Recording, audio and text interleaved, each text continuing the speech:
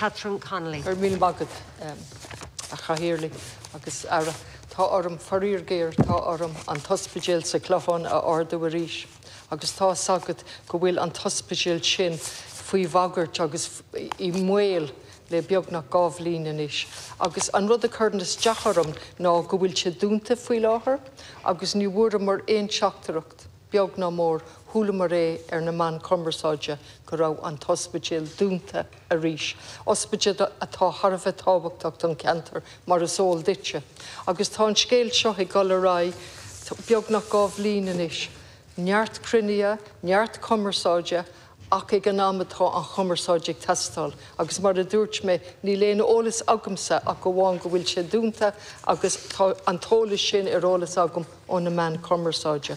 agus com mat lei sin tá sé Jackar a hiiscint cad iad na fána go bhfuil sé dúnta. As befórne ar level amháin, den dúirtar linn go bhfuil panel acu ó híh altríide ach ag an ná eile agus tá sé ara go bhfuil siad ag le cead ón rialtas daine a. So I'm back again. I have to say, from it's over, it's, we're into our second year now.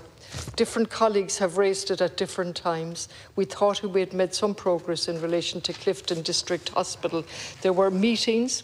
There was one particularly fruitful meeting in Clifden where we sat down with the previous woman who has retired. It was extremely fruitful and positive. We thought we were going someplace. And as we headed out at that meeting, we got a pre pre-written press release that confirmed that we're closing it. That meeting sticks out in my mind. It's over a year ago now, as we went out the door. So the, the previous wonderful two hours meeting was all at naught, and then we had more meetings. So what am I saying? I'm raising Clifden Hospital that it's closed once again. I learned that from the media. That's most unhelpful and I have no idea what's going on. Going back almost two years ago, we were told it, there was a union dispute. We were told that the staff didn't want to work between the two, the district hospital and St Anne's. We were told there was no demand. We were told all sorts of contradictory reasons. We were told they couldn't get any nurses.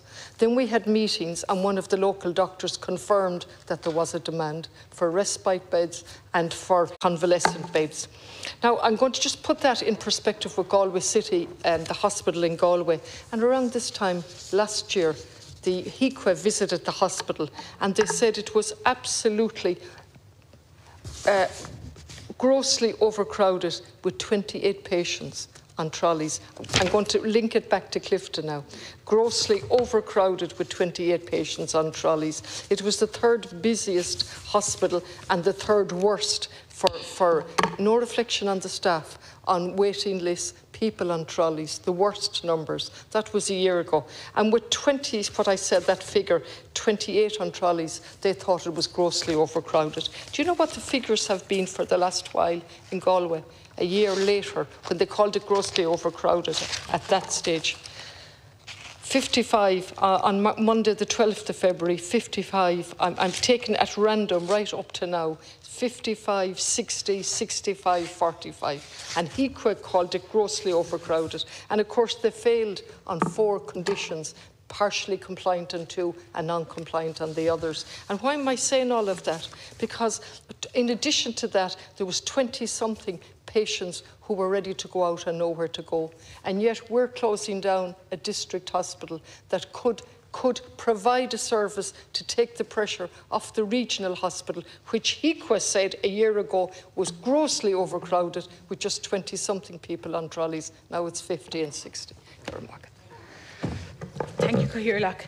Um, thank you, Deputy Connolly, for raising this really important um, matter. And you said how you learned it. Well, I learned from your question and from a media query I got today and uh, I, I, wouldn't be happy with that at all. I would expect um, to, be, to be informed of any decision to close a ward or close a hospital. And I would like to, be, I would like to begin by acknowledging, uh, as you have, the vital healthcare role that Clifden District Hospital plays, the excellent level of care and support which it provides to patients and their families in the Clifden community and surrounding areas. And as you have said, uh, Clifden Hospital has been primarily designed to provide convalescence care to patients stepping down from acute hospitals, like you mentioned, for example, Galway University Hospital. Like these step-down respite beds, you, we cannot underestimate how important they are. This afternoon I met with Dr Emer Ahern, who's the clinical lead for older people across the whole country, and we spent a long time discussing respite rehab and, and you know, the, the pathways out of acute hospitals back home again.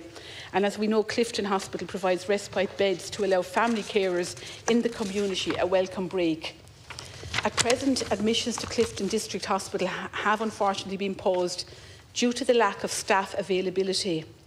HSE Community Healthcare West are actively working to recruit nursing. So when I found out today in relation to your question and also to the, pre the press briefing that had come in, um, I, I, I looked for an update immediately.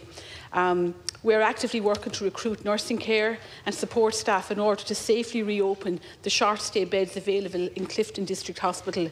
This also includes efforts to hire agency staff as an interim measure in order to resume services. I have been informed that no agency staff were available this week, but that efforts will continue to recruit in the short term. Now, I know agency staff are not ideal because you need that continuity, but at the same time, if we can get agency staff in the short term, that would be very important. As you know, but just for the record of the Dáil, Clifden District Hospital is located alongside St Anne's Community Nursing Unit on a shared campus in Clifden. There are 21 registered long-stay beds with HIQA in St Anne's Community Nursing Unit. All beds are currently fully occupied. Clifden District Hospital have been operating seven beds over the past 12 months and these beds have been utilised for short stay and respite admissions. As I have already stated, admissions to Clifden District Hospital are unfortunately paused due to staffing constraints. In the Clifden area, there has been significant challenges over many years to secure sufficient nursing staff despite national, international and local uh, recruitment drives. There are currently challenges in keeping both Clifden District Hospital and St Anne's open as com as, at Community Healthcare West and they're currently unable to staff.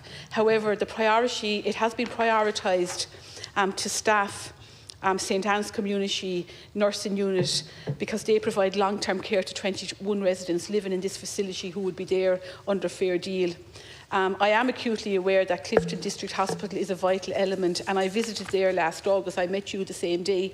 Um, and I was delighted to visit and I was delighted to announce um, going forward that um, there would be a, a new state-of-the-art 50-bedded unit en suite. And I am aware that the planning application has been submitted and I am aware that I think we're expecting more this week in relation to the planning application. But at the same time, I'm very conscious of those seven respite beds that have lost.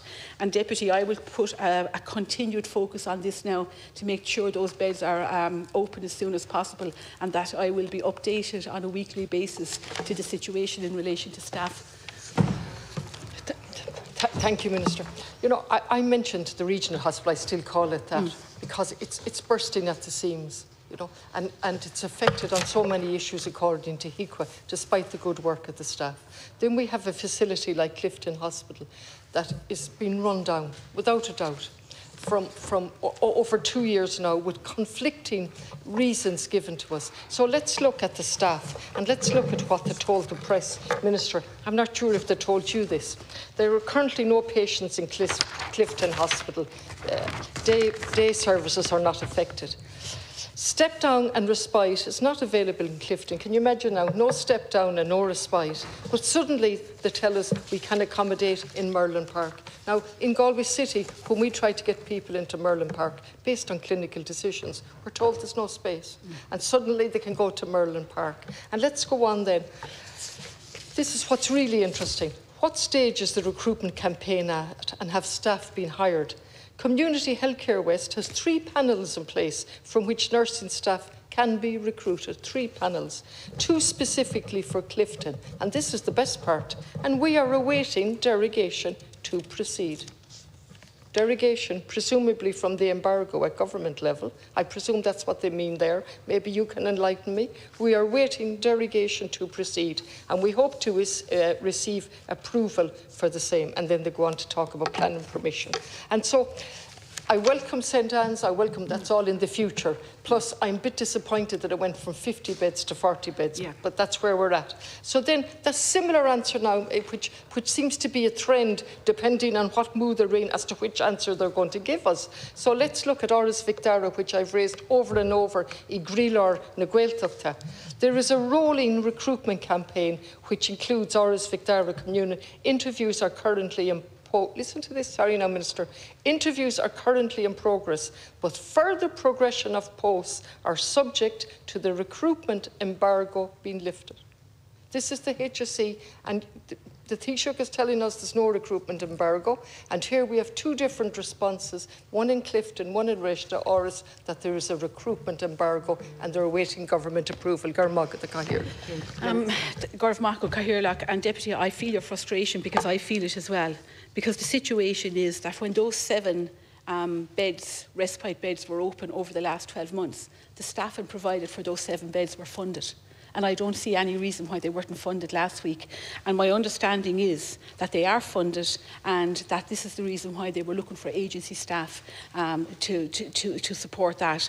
But as I've said, um, I will be looking for um, a meeting um, um, tomorrow uh, to discuss this because I heard this, as I said, when you asked your question and a, a media query. And I suppose I was slightly at a disadvantage this afternoon. I did get a written answer to questions that were submitted, submitted by the department. But at the same time, um, I know there's challenges with staff. But I can't underestimate first gone down. I'm glad in one sense that the 21 beds um, weren't affected in St Anne's, but the importance of respite beds cannot be underestimated. And I know we have been challenged in the Galway area, and I don't often speak out as clearly as this, but we have been challenged since COVID in the Galway area to get respite beds reopened. And that was the meeting I had this afternoon with the clinical lead in relation to older people, specifically in relation to respite beds, other other issues as well. Um, and this was one of the areas that we discussed.